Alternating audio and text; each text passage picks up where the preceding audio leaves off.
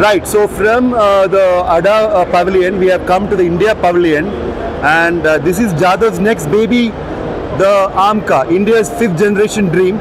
And look at the massive size, this almost looks like a real aircraft. So, um, this is also been news for various various reasons because this Aero India is also about fifth generation fighters of the world meeting all that.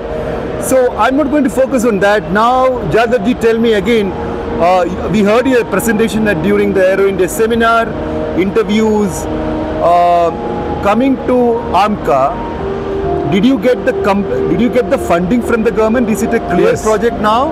Yeah, AMCA is fully sanctioned by the government in April uh, 24 and now we are in the design stage and if you uh, you are seeing this uh, one is to one a fully engineered model is being fabricated at the private company in Hyderabad and now this model is used for the some experimental purpose which are very important. AMCA being the fifth generation stealth fighter, lot of technologies has been embedded into this. If you see its shaping, a totally a different type of shaping has been worked out to see that the radar cross section is kept low and at every place there is a stealth material has been used which is indigenized at the DRDO lab and the test coupons of this test stealth material has been already uh, uh, qualified and we are at very high TRL level of stealth material. Right, so that is one aspect stealth.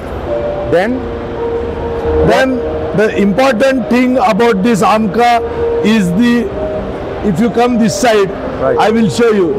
The air intake duct itself is totally different type of air intake duct and it is called divertless uh, air intake duct, serpentine air intake duct. This also makes RCS very very low. So we are planning to reduce the RCS by shaping a material and a different type of air intake.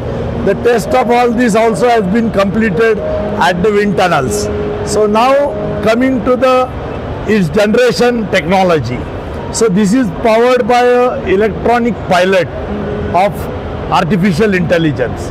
So this electronic pilot not only does a multi-sensor data fusion, but it also gives a pilot decision support, then automatic target tracking, then automatic aerial target tracking.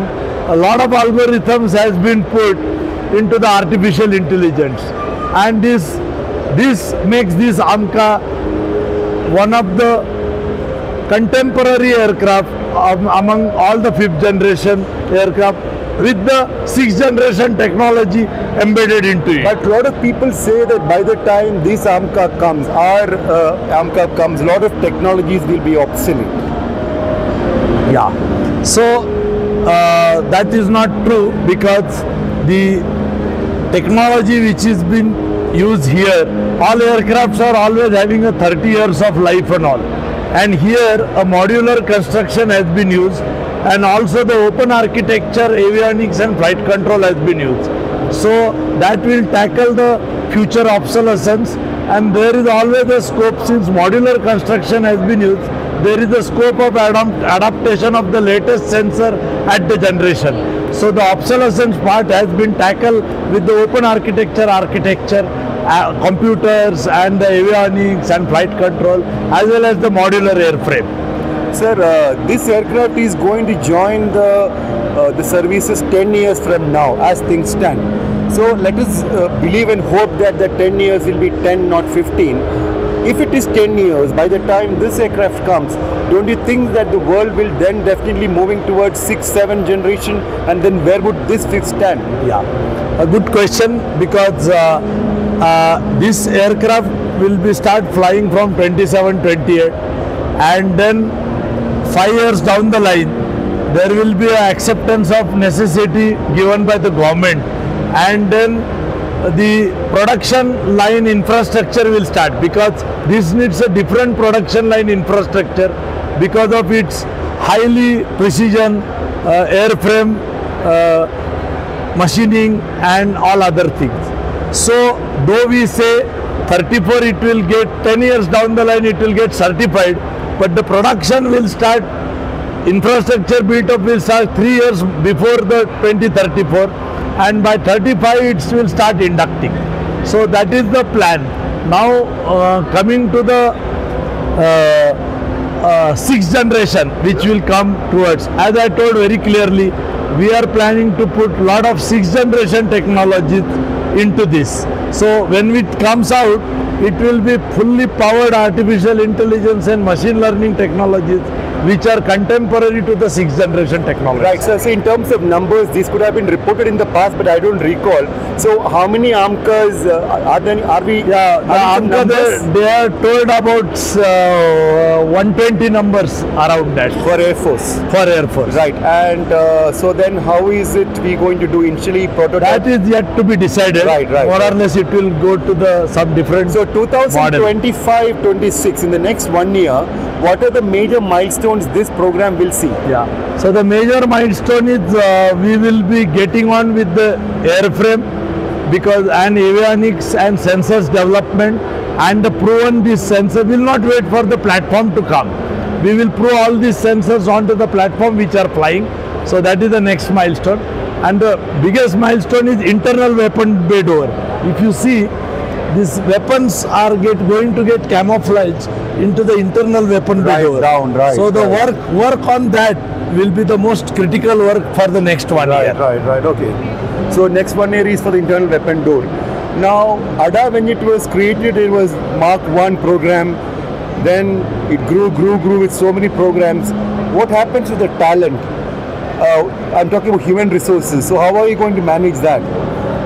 So while sanctioning this program, we got an additional sanction of project-based scientists and engineers, and we are in the process of the recruitment. And now we are doing a lot of digitalization and employment uh, uh, EPM type employment uh, personnel management trainings and all that thing to retain the talent and also uh, be, being the uh, programs available in ADA there is a lot of passionate engineers available. So i don't think so there is a drain of talent going to happen. In fact there are a lot of people who are interested into aviation which will be coming a fresh talent and we will able to make. And lot of industries we will integrate. In amca major thing is the core design will be done by ada but the all the other work will be done by the industries. So so we will force multiply the complete uh, ecosystem to see that design happens in the time. Just want to ask you, is there any way that this 10 year period of this entering the services could be cut short and we could perhaps do it in six, seven years? Possibility exists eh, based on the how the ecosystem and model works out, but it's too early to say today. Yeah, but just if we work out a, some a good model of private uh, public partnership or something to cut down the uh, procurement delays and the uh, integration delays, these timelines can be reduced. Uh, other factor is the engine.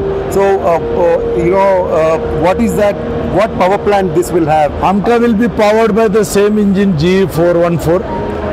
But I remember, sir, in long time when I interviewed the former DG, he said later on a Desi engine might come in.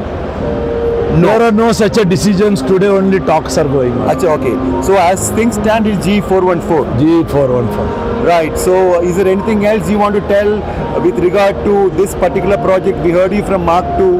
Now, uh, this one. I think perhaps what we missed is TED BF that we'll have to do. Or why don't you just talk about TED BF here itself so that you know? Yeah, TED BF is in the advanced stage of sanctioning. We already put a paper. Anytime we are expecting the sanction. That is the CCS. Uh, th- that is also six to seven years. And The then CCS sanction. CCS sanction Right, is pending. So the paper is at advanced sanction of the government. And then as soon as it comes, but the design we are not stopping. We started, Started. doing the design. Right. So, uh, just want to ask you at some quarters, you know, there was some movement requesting, asking the uh, Indian Navy if they could consider the LCA Navy initial uh, aircraft that was, uh, you know, thing, uh, you know, that was flown. Uh, even it did carrier trials. If you know, they could consider one squadron for their training purposes. Is it just? Is, what movement is happening on that front? Uh, talks are on with Navy on the similar matter, and we have given a proposal. I think it is under the discussion at Indian Navy. Indian Navy is looking for that proposal in a positive way. That is uh, that, is Jadhav. It's always a pleasure talking to him. Uh, you know, to the point uh, and uh, straight. Tons of uh, you know he's been very very busy. The entire media is chasing in between signing MOUs, meetings, running around. Uh, it is no joke to uh, lead such a big organization. So many projects, so many scrutinies, so many you know theories politics media this that. And that too uh, you know come out it's almost six o'clock here at uh, the uh, yeah 536 at the at the airbase.